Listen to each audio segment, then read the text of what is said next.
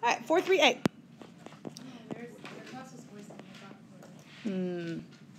So let's talk about what we're doing next week real quick. We're going to do 4-3A today. On Monday we have off. On Tuesday we'll do 4-3B. On the block we'll do 4-3C with a review. And then on Friday that will be our quiz. Okay? All right, 4-3A. We're going to do more trig stuff, but we're going to extend it. Um, this is called the circular functions. So we're still going to be finding the sine, cosine, tangent, cosecant, secant, and cotangent of angles, but now we're going to not just be acute angles, we're going to have all the angles. Okay, so here we go, letter A. How many parts today? Uh, two parts, but they're lengthy. Here we go. All right, so we're going to talk about any angle. Now, angles, what we've done so far just have limited them from 0 to 90 degrees. And now we're going to go all the way around in both directions. We're going to have positive angles, negative angles, all kinds of angles, okay? So here we go.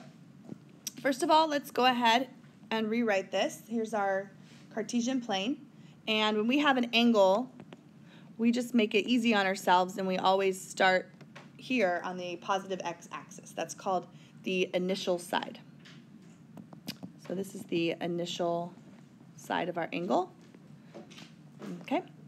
And if we want a positive angle, we will open this up. We've already talked about this. Open this up in a counterclockwise direction, and we stop somewhere, wherever we want to, and that would be our angle. Now, the place that we stop is going to be this side over here. Bless you. And that is called the terminal side.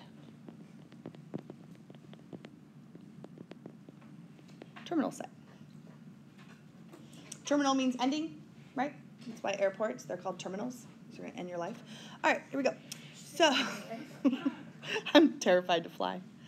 Any angle. All right, so if you go the other direction, though, so let's say that we have um, Cartesian plane here, and we decide to start right here, same initial side, but we go this direction, um, over to here, for example, then this would be, theta would be a negative angle. You can have negatives. And then you can, go counterclockwise. no, you can go both. Mhm. And then you can also, you don't have to stop, you can keep going. So you can have your initial side here, and you can go around this thing a whole bunch of times, and then you have that angle. Crazy, huh? It is positive. That would be a positive angle way over 360. All right, so let's go ahead and um, maybe draw a couple angles, just for fun. What is that? It's just a positive angle? Yeah, yeah, yeah. I'm not exactly sure how much it was, but here we go. So you're going to be able to draw angles in degrees and also in radians, okay? So you're going to start to get pretty good at this. Um, so let's go ahead. Yeah, bless you. Draw um, 195 degrees. Draw the angle. 195 degrees. We'll put that as A. We'll do a whole bunch of them. All right, so 195 degrees. Always start your angle in standard position. In other words, your vertex is at the origin and your initial side is on the x-axis, positive x-axis. And we're going to go 195. Now, you do not need to have a compass for this class, okay? Or a protractor or whatever they're called. I don't even know. But we're going to take this 195 and we're going to approximate where we're at. We really are concerned about which quadrant we end up in. That's going to be our main focus. So, so where would 195 be? We're going to go over to 180 and go about 15. So right there. Okay?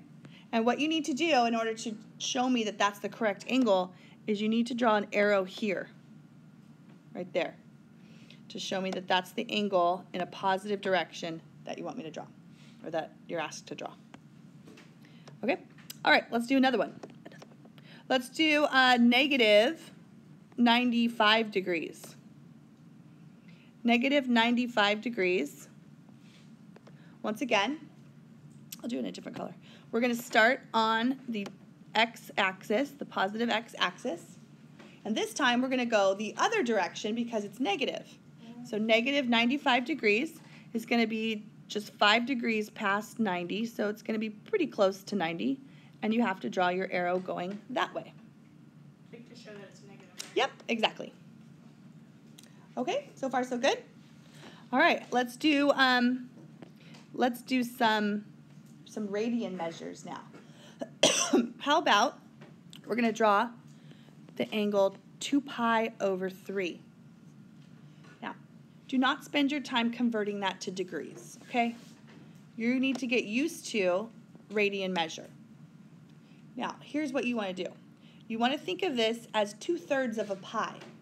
And remember, pi is 180, okay? So this right here is pi, pi radians. Two thirds of that would be if I had about one third, two thirds. Do you see how I just broke up the top half into thirds? Mm-hmm. So then two thirds would be this angle here. Start here, and you would go over to there. Okay, it doesn't have to be exact, but that's that's pretty exact. My thirds are good there. You see that? Wow. I know. I'm impressed with myself. Okay, and then let's do one more. Let's do um. Let's go negative five pi. Negative five pi. Let's see what that looks like if we were to draw that one. So, start here on the x-axis again. We're going to go negative, so we're going in a clockwise direction. We're going to go negative 5 pi. So you can just count them. Go like this. 1 pi, 2 pi, 3 pi, 4 pi, 5 pi. That would be the angle. You would end right there. Okay? Now, you're probably looking at that going, okay, well, that angle is really the same thing as pi or 180, isn't it? I mean, that, I mean, you have this is your initial side, that's your terminal side, and they're actually going to be related in a way. So let's talk about how they're related. All right, we have something called coterminal. Coterminal. Okay, co. Co is like you share something, right? We're co-champions. We don't like that. We like to be the champions, right? Or you're co-captains. You got to share that with someone. That sucks. You want to be the captain, right? All right, but co means that they share stuff in common, right? So we're going to have some coterminal angles. Is that what those for? Cohabitate, habitat, habitate? I don't know. What? Yes. Mm-hmm. Coterminal angles are going to be angles that have, and write this down because you're going to be required to know this one. They have the same initial and terminal side, initial and terminal side, but different measures.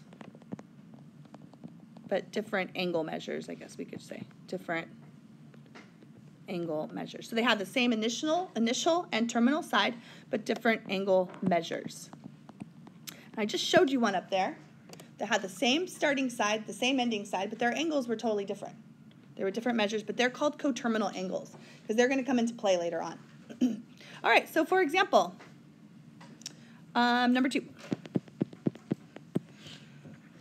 Number two, uh, we are going to find and draw. We're going to keep drawing a little bit here.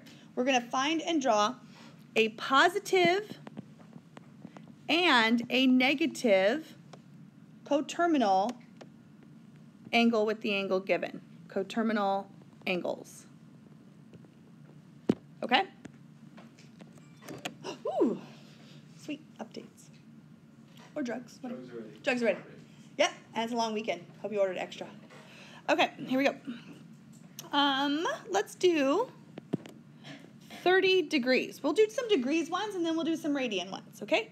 So 30 degrees, we're gonna find and draw a positive and negative coterminal angles. Now there's gonna be a little formula that you can use, but I want, I want us to see it first. I want us to do it first, okay? So 30 degrees, we're over here. I'll draw it in blue. Here's our initial side. 30 degrees is kind of small, right? It's before 45, it's before the halfway mark. So it's about to here. There's 30 degrees. Now, I have to find two more angles. Actually, there's an infinite amount of them. There is.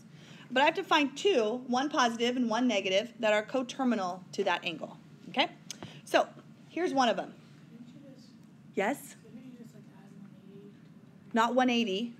360. Yep. So one, let's do that one first. Okay, so I could start here, the same starting point, and then I could go past that one, but then come back to it. Yes, you could do that. You could keep adding 360 as many times as you want, and you'll get like an infinite amount of them. Okay? So let's go ahead and write that one down. So my first coterminal angle would be 390. hmm So it's 360 plus 30 degrees. So I went to my 30, but then I went all the way around again, 360, so I added it. Okay? So that's one of them. But it says I have to find a positive and negative. So I don't want to keep adding 360 because that's just going to keep giving me positive ones. Yes, you guys, you're so good. So go here, and we're going to go around this way instead. Okay? These are coterminal. They have the same initial and terminal sides of your angle. So you can take 30 and subtract 360 from it. Hmm And that will give you negative 330. And those are your two coterminal angles. And there's, there's an infinite amount of answers to this, correct answers, okay? Now, the tricky thing is, is you're like, okay, so I'm just going to every time just add and subtract 360 degrees, and that'll give me both of them. Not quite, okay? Not quite. So let me show you. What if I gave you 740 degrees, and I asked you to find me a positive and a negative, okay? Did you just double that? No. What you want to do is you want to, like, to get more, you can add 360. That'll be a positive one. But you're going to have to subtract 360 a few times until you get to a negative. You know what I mean? Is there another way to do that other than trial and error? Oh, that's not really trial and error. I mean, you could draw a picture. So 740. Whoa, what is that? How many times around is that? Yeah? 360 and then, oh, sorry, sorry. 180? No. I would take 740 and I would subtract 360 from it, and I get 380. Okay? And then I would subtract 360 from that, and I get 20. So basically, this, excuse me, is 360 plus 360 plus 20. So let's go ahead and draw that. Okay? 360, 360, and 20. So I would start here, my initial side, and I'd go around 360, and another 360, and then 20 degrees, a little bit. Right there. So sometimes it's nice to draw it because then you can see what would a positive coterminal angle be. Well, you can do a couple of things. You can take 740 and subtract 360 off once, and that would be 380. So that would be a totally acceptable answer. Okay, that would be the angle that starts here and only goes around one time past it and ends there. Okay. Um, if you did that again and you said, okay, how about this angle that starts here and ends here? That's 20 degrees. Well, that's still positive. So I don't really want that one. Yeah? Did I do it wrong? No. Okay. You're just figuring out. Okay. No, I do them wrong sometimes. Make sure you let me know. All right. 20 would also be a positive angle. I don't I don't need two positives. I need a positive and I need a negative. That's what they're going to ask for. So what would the, a negative be? Yes. So the negative one would be to start here and go this direction to there. So I can subtract off another 360. So the negative would be negative 340. Like you can just do one eighty plus one sixty. And then that'll give you your negative number. You can do that. Mm-hmm. Yep. Lots of ways to think about these. Okay? But be careful that, you know, you, you can't just add or subtract 360 because that's what people think. I mean, that's kind of the idea, but you have to add or subtract 360 a couple of times until you get negatives and positives. All right, now let's do some radians. So that was a nice little warm up for you. Now let's do some radians ones. All right, so negative pi over 4. I want to find two coterminal angles, one positive, one negative, to negative pi over 4. Well, let's draw negative pi over 4. All right, start to get used to these fractions. It's a quarter of a pi. Pi is only half the circle, okay? So negative pi over 4 is going to be in what quadrant? The bottom, the bottom right, which is quadrant 4. Mm-hmm. Yeah, remember the quadrants are 1, 2, 3, and 4. All right, so negative pi over 4 is going to go initial side here, terminal side there, and it goes in that direction. Negative pi over 4. So let's go ahead and find two more, two coterminal angles that have the same measure.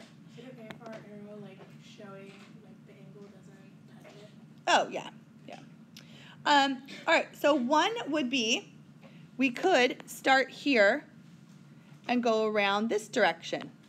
Wouldn't that be a coterminal angle? Same side, same initial side, same ending side. Now, do you know what angle that is? Okay, well, let's check it out. We have one quarter, two quarter, three quarters, four quarters, five, six, seven. Yes, but we're gonna when it's in radians, you want to have your answer in radians. Okay, seven pi over four. Now I don't like to think of it that way. I don't like to count all of these pi's around. What I like to do is this: all the way around this circle is two pi, and I'm one quarter short of two pi. Well, what is two pi in terms of fourths?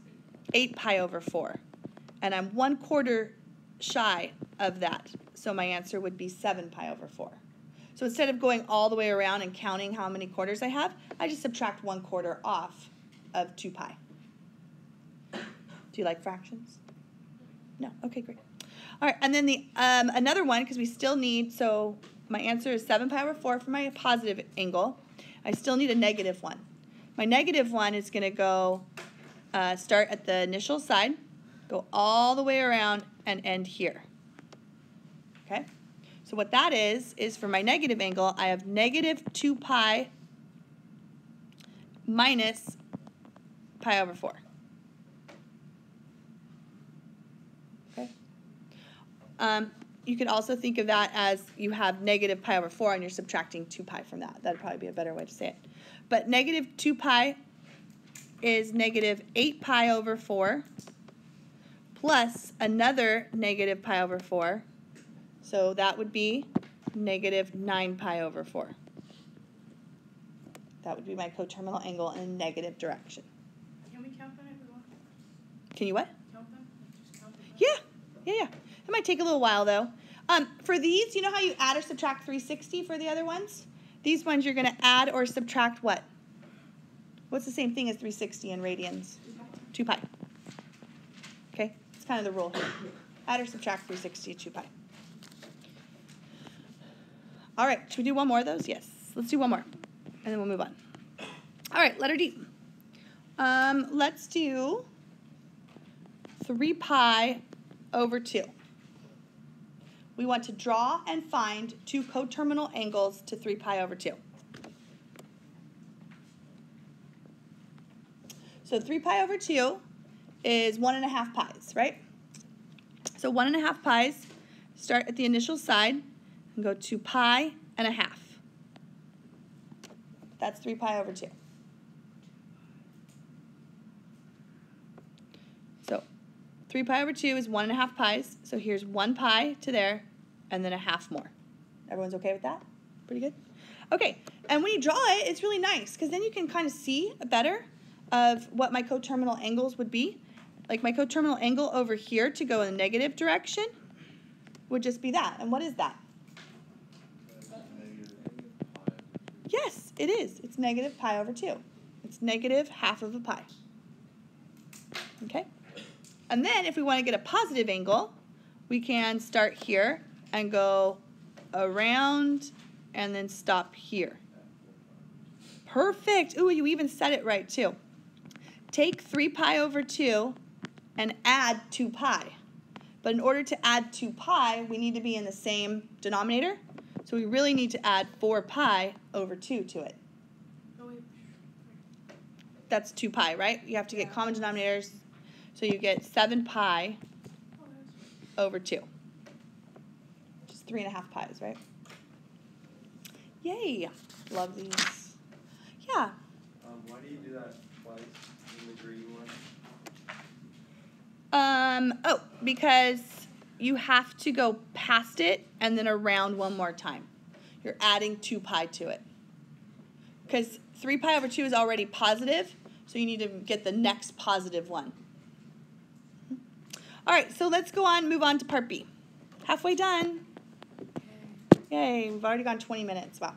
All right, we're going to evaluate trig functions with a point. I know. Evaluate with a point. Oh, okay. All right. Um, when you're going to evaluate your trig functions with a point, sometimes you can't make a triangle, like the triangle that you think you need for the angle. So what you're going to do is you're going to use something called a reference angle in order to evaluate your trig function, your SOHCAHTOA stuff. Okay? Um, your reference angle is going to be different for each quadrant. So let me show you. So let's go ahead and write all four quadrants down, or um, we're going to do all four quadrants. So do four of them.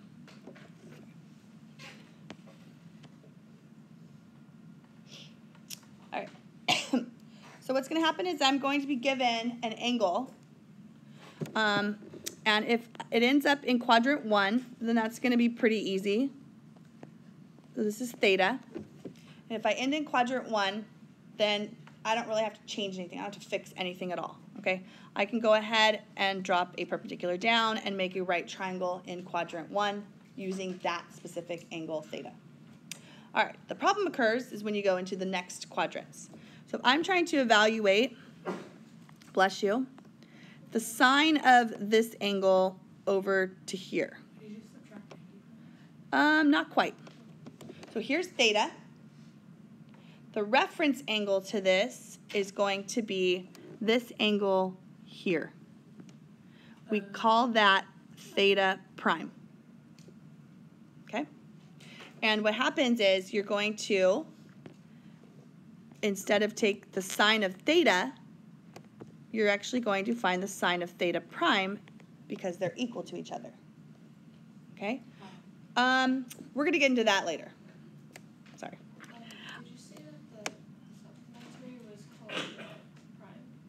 Um, yes, for that one it is, but the next one's not going to be the supplementary. So, yeah.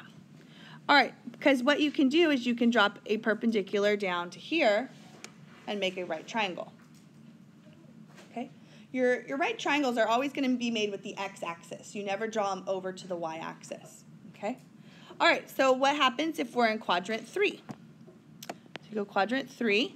Let's say we're trying to find the sine or cosine or whatever of this angle all the way over to here. Bless you. We call that theta. We're trying to find the cosine of theta. What you want to do is you want to drop a perpendicular to the x-axis. Okay, right there. And this angle inside of here, we call theta prime. This angle right there. Okay? So theta prime is always going to be um, an acute angle, okay? And it's always going to be from your angle to the x-axis, and it's always positive. It's always positive too. And then finally, over here, if you're in quadrant four, and you go all the way around something like that, and we're trying to evaluate, um, you know, our trig functions, bless you, of that angle, you want to use theta prime, which would be inside of here, because you would draw a perpendicular to there to make your right angle. So let's go ahead and see what this reference angle is. The reference angle is always positive. Okay? It's always a central angle. In other words, its vertex is on the origin. And it's always acute. Okay? So I'm going to show you how to do these problems with that.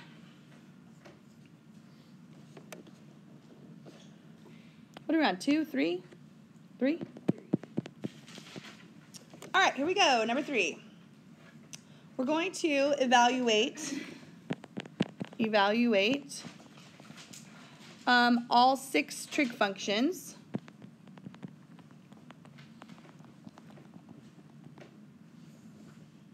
When the terminal side, when terminal side of your angle lands on this point. Let's give you like a nice, nicer one. Negative 4, negative 2. Evaluate all six trig functions when the terminal side of your angle lands on that point. Okay, let's draw a picture of this. Here we go. Give yourself a Cartesian plane, and let's plot the point negative 4, negative 2. So 1, 2, 3, negative 4, negative 2. So there it is. So let's see what this is asking for, right? Because I see a lot of frowns out there like, what in the world is this even asking? No, there's a lot. Yeah, don't say sorry. No, no, this is hard stuff. So what this is asking you to do is it's saying, here's your initial side, which is always going to be the initial side. And then the terminal side of your angle goes through this point right here.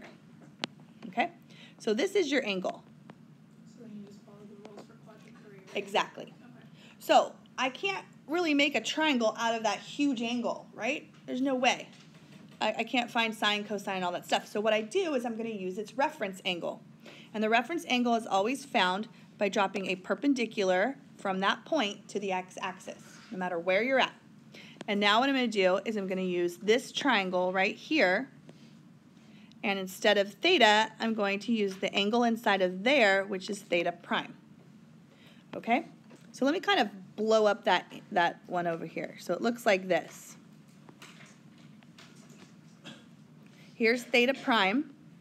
So instead of finding the sine, cosine, tangent of theta, I'm going to find the sine, cosine, tangent of theta prime, and it's going to give me the same answer. Now, be careful here, because what are my sides? My sides of my triangle can be negative. It can? Yep, they can. Oh. This is negative 4, and this is negative 2. And then, um, Pythagorean? Mm-hmm. Because they're in quadrant three, they're both going to be negative, and it's going to make a it's going to make a difference. And then the, you're going to use Pythagorean theorem. The hypotenuse is always positive, though, always. So that would be 16 plus 4 square root of 20. So the hypotenuse would be 2 rad 5. Okay? And now this just brings us back to what we did yesterday. We're just going to evaluate all of them. So we're going to find the sine of theta, which is really the sine of theta prime, the reference angle. So the sine of theta is going to be uh, opposite over hypotenuse, and you can reduce that to negative 1 over rad 5. Can you explain why they're the same? Like why? Um, it has to do with sine and cosine being cyclical. Like, we're going to talk about the graphs and stuff and how it just keeps, like, the same points keep happening. So it doesn't matter, like, if you're in quadrant one, they're going to happen over here in quadrant three, too. Okay. So, yeah, it's periodic. So, okay. And then cosecant is going to be the reciprocal of that. So negative rad 5 over 1. Or just negative rad 5, I should write. There you go. And then you can find the rest of them too. So cosine of theta would be adjacent over hypotenuse, which is negative 2 fifths, 2 rad 5, sorry. And then secant of theta would be the reciprocal of that. So that'd be negative rad 5 over 2. And then two more. I know it's like six problems in one. Tangent's going to be nice though. Tangent is going to be opposite over adjacent, which is 1 half. And cotangent is going to be 2. And later on, we're going to talk about why things are positive and other things are negative. So if you noticed, sine and cosine and their reciprocals, these are all negatives. And tangent happens to be positive in quadrant 3, and so is cotangent. Bless you. All right, um, I'm supposed to do one more thing with you, but we don't have time, do we? And even write, I even wrote on my paper, do not skip this. So you might have a little bit of struggle, but I think you're gonna be Can okay. you record it and then post it? Oh, I could probably do that.